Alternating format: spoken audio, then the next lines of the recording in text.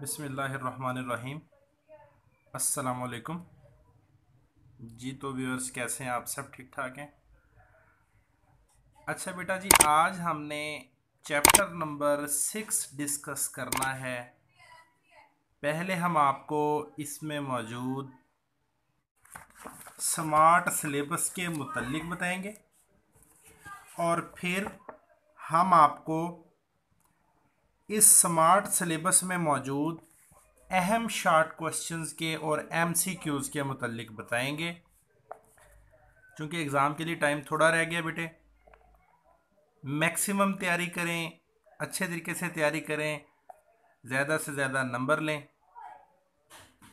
बिना किसी देर किए हम अपने टॉपिक की तरफ़ चलते हैं। उसमें कौन कौन से टॉपिक्स शामिल हैं? चलते हैं जी। अच्छा बेटा, सबसे पहले ये स्ट्रक्चर ऑफ़ बैक्टीरिया इस टॉपिक में शामिल है। स्मार्ट सिलेबस में। इसका साइज़ भी करना है आपने, इसका शेप्स ऑफ़ बैक्टीरिया भी करना है। इसके साथ साथ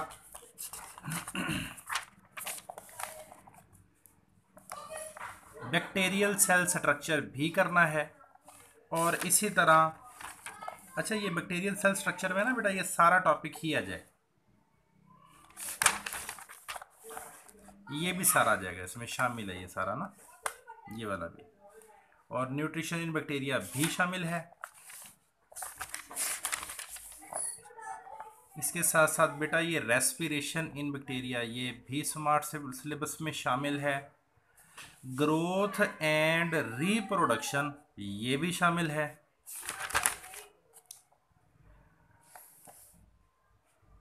कंट्रोल ऑफ़ बैक्टीरिया ये भी स्मार्ट सिलेबस में शामिल है। ये फ़िज़िकल कंट्रोल और ये केमिकल कंट्रोल ये आपने यहाँ तक करना है अम्यूनाइजेशन से ऊपर तक। ठीक है? ये साइड बॉक्स आपने ज़रूर करना है। बहुत इंपॉर्टेंट है। इसके साथ साथ आपने usages and misusages of antibiotics करने हैं। लास्ट में आपने करेक्टरिस्टिक ऑफ़ साइनोबैक्टीरिया करना है। बस ये टॉपिक्स हैं जो इस चैप्टर नंबर सिक्स में शामिल हैं। अब फटाफट इन टॉपिक्स में मौजूद अहम शार्ट क्वेश्चंस के मतलब आपको बताते हैं। बेटा, जैसा कि ये स्ट्रक्चर ऑफ़ बैक्टीरिया आपका पहला टॉपिक है। इस पहले टॉपिक में ये जो साइज़ है ना, इस साइज़ में बेटा काफ़ी सारे एमसीक्यूज मौजूद हैं। जैसा कि लिखा हुआ है ना कि बैक्टीरिया जो हैं, वो ज़ीरो इशारिया एक से लेकर 600 माइक्रोन मीटर तक साइज़ में हो सकते हैं। अच्छा ये भी एमसीक्यूज है। इसके बाद बेटा, ये माइकोप्लाज्मा का बड़ा इंपॉर्टेंट एमसीक्यूज मौजूद है कि माइकोप्लाज्मा जो है, ये 100 से 200 नैनोमीटर डायामीटर का होता है। इंपॉर्टेंट एमसीक्यूज मौजूद है यहाँ। इसके बाद बेटा, यहाँ एस्क्रिशिया कोलाई के मुतलिक भी बताया गया है कि इसका साइज़ क्या है। इसका साइज़ भी आपने याद करना है, ये भी बड़ा इंपॉर्टेंट एमसीक्यूज है। ठीक है जी? और इसी तरह सर्जन फ़िश में कौन सा बैक्टीरिया मौजूद होता है, ये भी आपको पता होना चाहिए। ठीक है जी? इसका डायामीटर भी आपको पता होना चाहिए, इसका साइज़ भी पता होना चाहिए। इसके बाद बेटा हम चलते हैं शेप्स ऑफ़ बैक्टीरिया की तरफ़। बैक्टीरिया अकॉर्डिंग टू शेप तीन किस्मों के हैं, कोकाई, बेसिलाई और स्पाइरल यहाँ लिखा भी हुआ है, कोकाई, बेसिलाई और स्पाइरल अच्छा ये जो कोकाई बैक्टीरिया होते हैं, ये राउंडेड अपीयरेंस में पाए जाएँगे बेटा। जैसा कि ये आपको नज़र आ रहे हैं। ये कौन से हैं? कोकाई बैक्टीरिया है। अच्छा कोकाई की भी फर्दर ये टाइप्स यहाँ पे ये सारी मौजूद हैं, ये भी आप ज़रा समझ लें। अगर तो ये एक पाया जाएगा तो आप इसको कोकाई कहेंगे। अगर ये दो कोकाई इकट्ठे पाए जाएँगे तो आप इसको डिप्लो कोकाई कहेंगे। ठीक है जी? और अगर ये काफ़ी सारे कोकाई एक सीधी चेन की शक्ल में मौजूद होंगे तो इसको हम स्ट्रेप्टोकोकाई कहेंगे। और इसी तरह अगर चार कोकाई ऐसे एक मुरबा शक्ल में पाए जाएँगे, इसको हम टेट्रेड कहेंगे। और अगर चार कोकाई के ऊपर चार कोकाई मजीद पाए जाएँगे तो इसे हम सारसीना कहेंगे। ये सारसीना के अपीरेंस ज़रा समझ लें। सपोज़ ये चार कोकाई हैं। और ये वाले भी चार कोकाई हैं।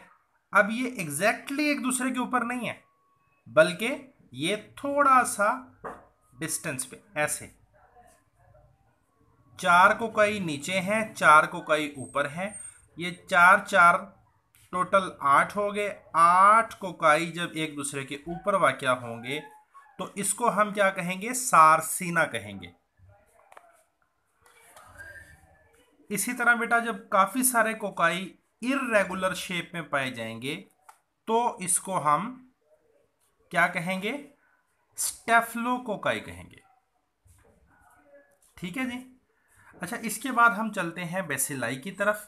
बेसिलाई क्या होते हैं? ये रॉड शेप्ड बैक्टीरिया होते हैं। अगर तो ये सिंगल बैक्टीरियम मौजूद है तो इसको हम बेसिलस कहेंगे।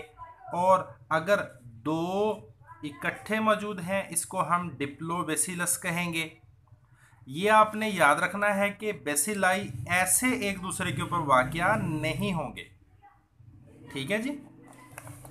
अच्छा इसी तरह जब काफ़ी सारे रॉड शेप यानी कि बेसिलाई बैक्टीरिया एक सीधी लाइन में अरेंज होंगे तो हम इसको क्या कहेंगे? स्ट्रेप्टोबेसिलस कहेंगे। ठीक है जी? पता लग रहा है ना आप लोगों को? अच्छा जी, इसके बाद नेक्स्ट पेज पे चलते हैं बेटा जी। ये भी बड़ा इंपॉर्टेंट लिखा हुआ है कि स्पाइरल शेप बैक्टीरिया जो होते हैं, ये फर्दर कितनी किस्मों के होते हैं? ये वाइब्रो भी होते हैं स्पाइरेलियम भी होते हैं और स्पाइरोकिट्स भी होते हैं। ठीक है जी? फिर उसने एग्जांपल्स भी दी हुई हैं बताया भी हुआ है कि जो वाइब्रो हैं, ये कोमा शेप्ड होते हैं। स्पाइरेलियम जो है ये थिक होते हैं, मोटे साइज़ के होते हैं, जबकि स्पाइरोकिट्स जो है ये थिन और फ्लेक्सिबल होते हैं। ठीक है जी? यहाँ देखो इन्होंने स्पाइरल शेप बैक्टीरिया की एग्जांपल लिखी हुई है वाइब्रियो और हाइफोमाइक्रोबियम अच्छा जी, इसके बाद बेटा जी आपने टॉपिक करना है बैक्टीरियल सेल स्ट्रक्चर अच्छा बेटा बैक्टीरियल सेल स्ट्रक्चर में सबसे पहले जो बात की गई है, वो फ्लेजेला की बात की गई है। फ्लेजेला क्या होते हैं? स्पेशल हेयर लाइक ये स्ट्रक्चर्स होते हैं। और ये कहाँ से निकलते हैं? ये बेसल बॉडी से निकलते हैं। And where is basal body ये मैं आपको डायग्राम बना के समझा भी देता हूँ।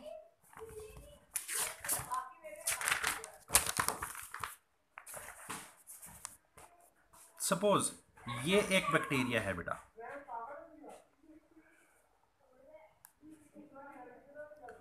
देखो, ये बैक्टीरिया की सेल मेम्ब्रेन है।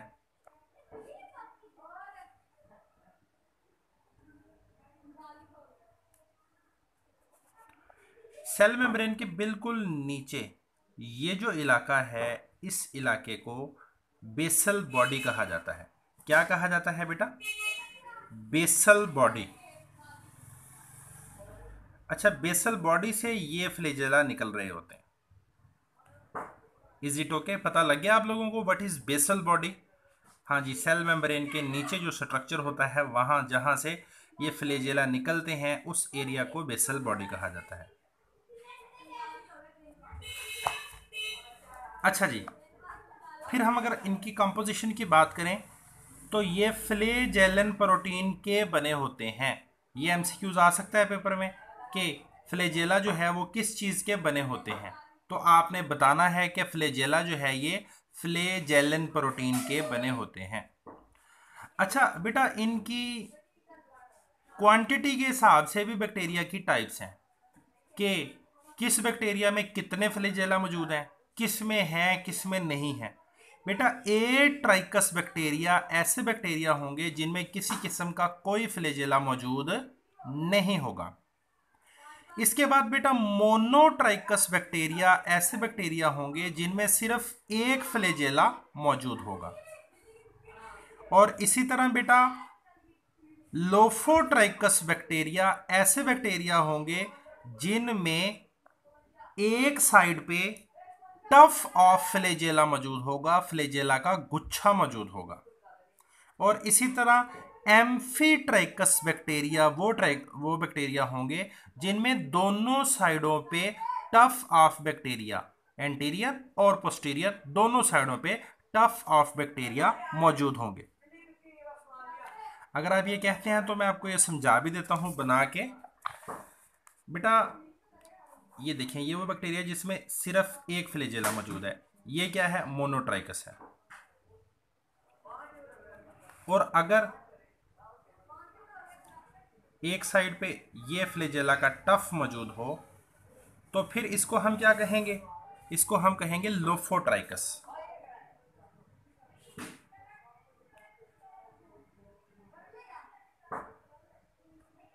और अगर बैक्टीरियल सेल में दोनों साइडों पे ये क्लस्टर्स मौजूद हैं,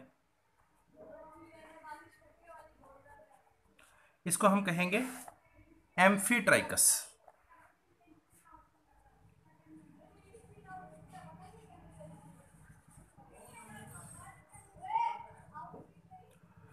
और अगर थ्रू आउट द बॉडी ये फ्लेजिला सारे चारों तरफ़ मौजूद हों, इसको हम क्या कहेंगे? पेरीट्राइकस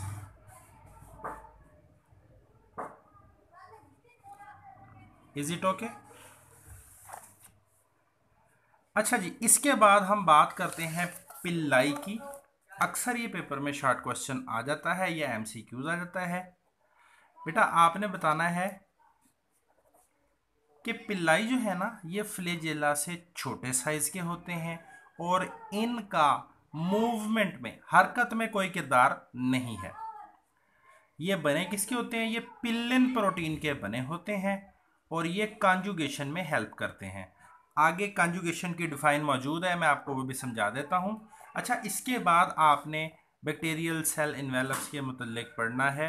बेटा बैक्टीरियल सेल इन्वेलप्स ये कैप्सूल और सलाइम अच्छा ये कैप्सूल और स्लाइम जो है, ये बड़े ही सिंपल टॉपिक्स हैं। अक्सर बच्चे जो है ना, ये समझ लेते हैं कि भी हमें तो इसकी समझ ही नहीं आई। पता नहीं ये कितने टफ हैं।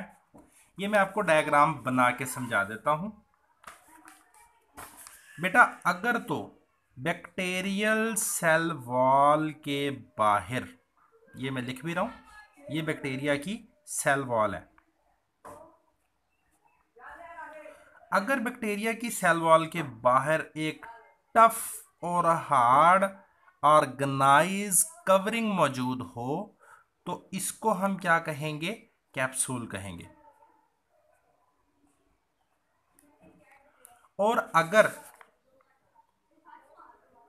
सॉरी, और अगर ये बैक्टीरियल सेल है, ये इसकी सेल वॉल है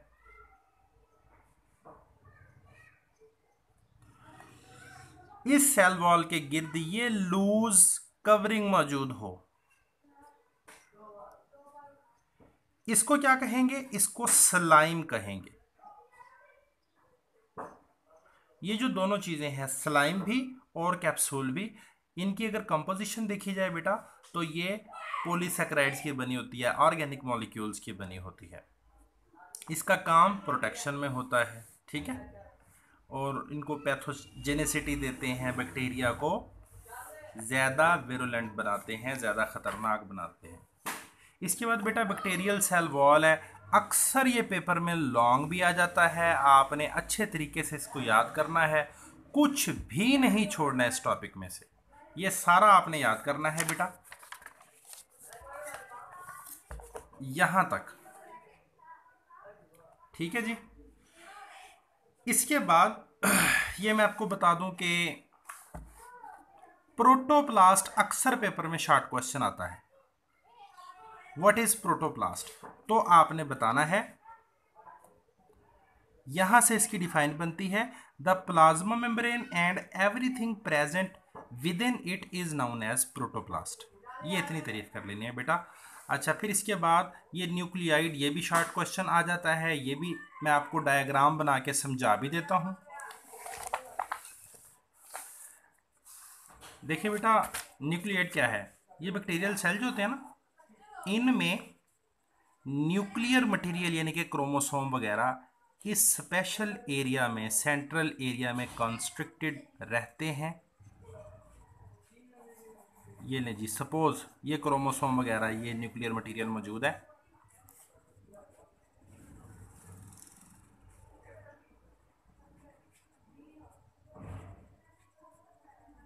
बेटा, ये जो न्यूक्लियर मटेरियल बैक्टीरिया के जिस सेंट्रल एरिया में मौजूद होते हैं, इस सेंट्रल एरिया को न्यूक्लियाइड कहा जाता है। क्या कहा जाता है? न्यूक्लियाइड कहा जाता है। कर लेंगे बच्चों। इसके बाद बेटा जी न्यूक्लियड के बाद आपने प्लाज्मिड कर लेने हैं। प्लाज्मिड भी जो है, ये भी शॉर्ट क्वेश्चन आ सकता है। आपने बताना है कि प्लाज्मिड जो है, इनका मॉडर्न जेनेटिक इंजीनियरिंग में बड़ा अहम किरदार है और ये एक्स्ट्रा सर्कुलर डीएनए मॉलिक्यूल होते हैं और ये सेल्फ रेप्लिकेटिंग हैं। खुद ब खुद तकसीम होके एक से दो कॉपीज़ में कन्वर्ट हो जाते हैं। इसके बाद बेटा, ये मीज़ोसोम्स भी इंपॉर्टेंट टॉपिक है। ये भी आपने याद कर लेना है कि जब सेल मेम्ब्रेन अंदर की तरफ़ इन्वेजिनेट हो और गोल गोल वैक्यूल्स बना लें इन वैक्यूल्स को मीजोसोम्स कहा जाता है, ठीक है? कर लेंगे ये पूरा टॉपिक ही अच्छी तरीके से आप कर लीजिएगा। इसके बाद बेटा जी आपने सिस्ट की तारीफ़ करनी है, बड़ी इंपॉर्टेंट है। ये सारे ही एज सच सारे टॉपिक्स ही बड़े इंपॉर्टेंट शॉर्ट क्वेश्चंस हैं। तो सिस्ट क्या होती है? आउटर मोस्ट प्रोटेक्टिव कवरिंग होती है, जो कि बैक्टीरियल सेल को बचाती है एडवर्स हार्श एनवायरमेंटल कंडीशंस के दौरान। तो बेटा नेक्स्ट जो है, ये न्यूट्रिशन इन बैक्टीरिया है। ये तो वेरी इंपॉर्टेंट लॉन्ग क्वेश्चन है, अक्सर पेपर में आ जाता है। इसमें आपने कुछ भी नहीं छोड़ना, ये आपने सारे करना न्यूट्रिशन इन बैक्टीरिया कुछ भी नहीं छोड़ना आपने, ना? और अक्सर ये भी पेपर में शार्ट क्वेश्चन आ जाते हैं वट आर फोटोसिंथेटिक बैक्टीरिया तो आपने ये इनके नाम लिखने हैं सारे। इसके बाद बेटा रेस्पिरेशन इन बैक्टीरिया है। ये आपने एरोबिक बैक्टीरिया की डिफाइन कर लेनी है एन एरोबिक बैक्टीरिया की फैकल्टेटिव बैक्टीरिया की और माइक्रो एरोफिलिक ये चारों किस्म के बैक्टीरियाज की डिफाइंस और इनकी एग्जांपल्स याद कर लेनी है। ये सारी इनकी एग्जांपल्स लिखी हुई हैं। ठीक है बेटा?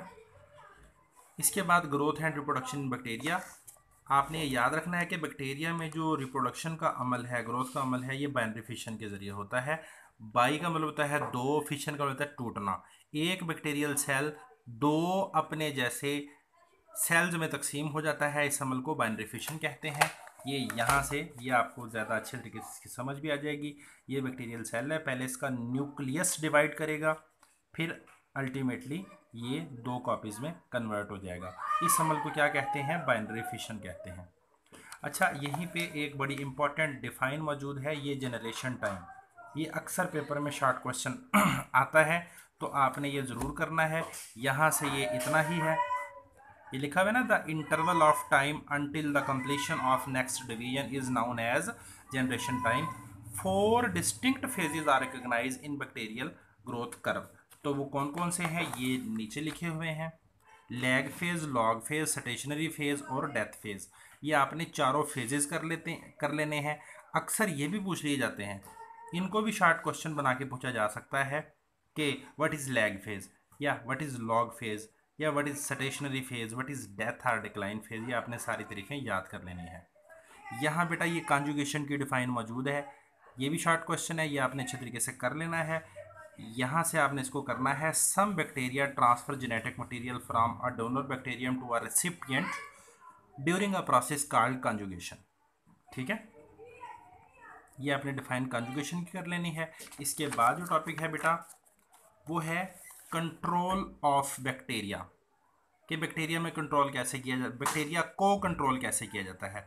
बैक्टीरिया को कंट्रोल करने के यहाँ तीन चार तरीके लिखे हुए हैं। हमने स्मार्ट सिलेबस के अकॉर्डिंग ये दो तरीके डिस्कस करने हैं।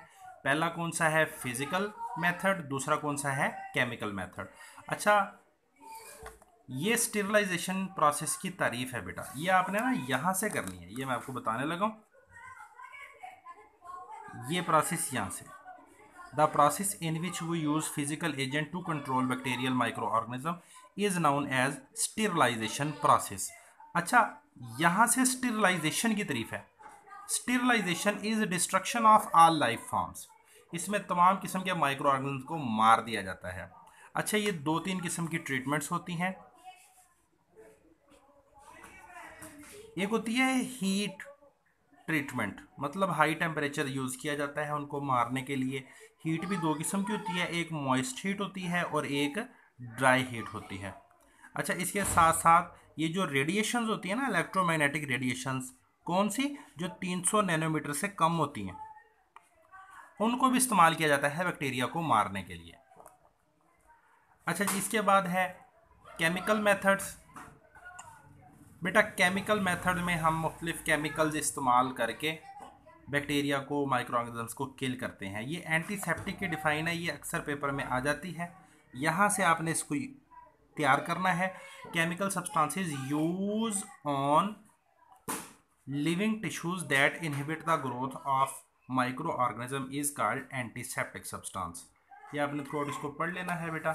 इसके बाद ये जो बड़े इंपॉर्टेंट क्वेश्चन हैं, इनको बड़े अच्छे तरीके से आपने याद करना है। बेटा microbicidal effect microbistatic effect microbicidal effect कौन सा होता है? ऐसा इफ़ेक्ट जिसमें माइक्रोब्स को इमीडिएटली किल कर दिया जाता है बैक्टीरिया को मार दिया जाता है। और माइक्रोबिस्टेटिक इफ़ेक्ट ये एक ऐसा इफ़ेक्ट है जिसमें उनकी रिप्रोडक्टिव एबिलिटीज़ को इनहिबिट कर दिया जाता है। वो अपनी जनरेशन को आगे बढ़ा नहीं पाते, अपनी आबादी को बढ़ा नहीं पाते। ठीक है जी? अक्सर ये पेपर में शॉर्ट क्वेश्चन आ जाता है। Differentiate between microbicidal and microbistatic effect ये कर लेना है। अब हम फटाफट लास्ट टॉपिक की तरफ़ चलते हैं। हाँ बेटा uses and misuses of antibiotics पहले मैं आपको बता दूँ कि ये आपने याद रखना है कि एंटी का क्या मतलब होता है? एंटी का मतलब होता है खिलाफ। और बायोटिक्स से मुराद लिविंग ऑर्गेनिजम्स होते हैं। लिविंग ऑर्गेनिज्म से मुराद माइक्रो ऑर्गेनिजम्स होते हैं। और माइक्रो ऑर्गेनिजम्स कौन से होते हैं? बैक्टीरिया वायरसेस वगैरह, जो कि बीमारियाँ पैदा करते हैं। अच्छा बैक्टीरिया वायरसेस को किल करने के लिए जो केमिकल सब्सटेंस दिया जाता है, उसे क्या कहते हैं? एंटीबायोटिक्स कहते हैं। बेटा, ये जो एंटीबायोटिक्स होती हैं, ये अच्छे डॉक्टर्स की रिकमेंडेशन से ही इस्तेमाल की जाएँ। अगर आप इनका बहुत ज़्यादा मिस यूज़ करते हैं तो भी ये बड़ी नुकसानदेह होती हैं। तो इसके यूजेस और मिस यूजेस यहाँ पे मौजूद हैं। आपने ये दोनों पैराग्राफ्स को अच्छे तरीके से पढ़ लेना है। और यहाँ एंटीबायोटिक्स के नाम और इनके असरात लिखे हुए हैं। आपने अच्छे तरीके से वो सारे कर लेने हैं बेटा। ठीक है ना जी? नेक्स्ट टॉपिक है बेटा।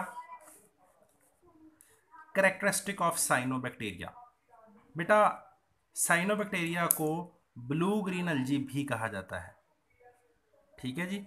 और ये लार्जेस्ट ग्रुप है फोटोसिंथेटिक बैक्टीरिया का। अच्छा ये जो ब्लू ग्रीन अलजी यानी कि साइनो बैक्टीरिया है, इनमें जो फोटोसिंथेटिक पिगमेंट्स हैं, वो फाइकोबिलियंस होते हैं। ठीक है? और इनमें प्री डोमिनेंट फाइकोबिलियन कौन सा होता है? फाइकोसायनिन होता है। अच्छा ये बड़ी इंपॉर्टेंट यहाँ पे एमसीक्यूज़ के लिए लाइन मौजूद है। कि reserve food material in cyanobacteria is glycogen यह आपने बड़े अच्छे तरीके से याद करना है। साइनोबैक्टीरिया में ये तीनों स्ट्रक्चर्स भी मौजूद होते हैं। हार्मोगोनिया एकाइनिट्स और हेट्रोसिस्ट अच्छा ये डायग्राम भी बनी हुई है। इसमें रेस्टिंग सपोर्स ये जो है बेटा, ये एकाइनेट्स होते हैं। ठीक है जी? रेस्टिंग स्पोर ये एकाइनेट्स होते हैं। और ये जो हेट्रोसिस्ट होते हैं, ये स्पेशल किस्म के सेल्स मौजूद होते हैं। लें जी, ये आपका टॉपिक था। चैप्टर नंबर सिक्स आपका कंप्लीट हो चुका है। जो जो टॉपिक्स मैंने आपको बता दिए हैं, या आपने अच्छे तरीके से कर लेने हैं। अगर इनमें से किसी भी टॉपिक की समझ नहीं आई तो आप मुझसे कंसल्ट कर सकते हैं। आप कमेंट सेक्शन में आके अपना जो भी क्वेश्चन है वो हमसे पूछ सकते हैं या डिस्क्रिप्शन में हमारा ग्रुप मौजूद है। तो उसमें भी आप हमसे क्वेश्चन पूछ सकते हैं। उम्मीद है आपको सारी इंशाल्लाह समझ आ गई होगी। बाकी मज़ीद मेहनत जारी रखें खुश रहें। अल्लाह हाफिज़।